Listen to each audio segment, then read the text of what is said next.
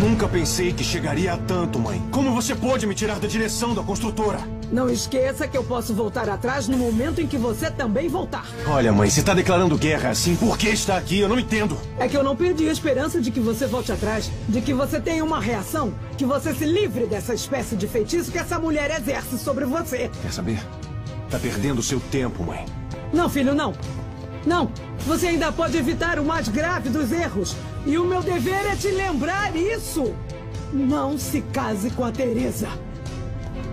Eu sei que isso não vai te agradar, mãe. Mas é o que eu penso em fazer assim que ela tiver se divorciado.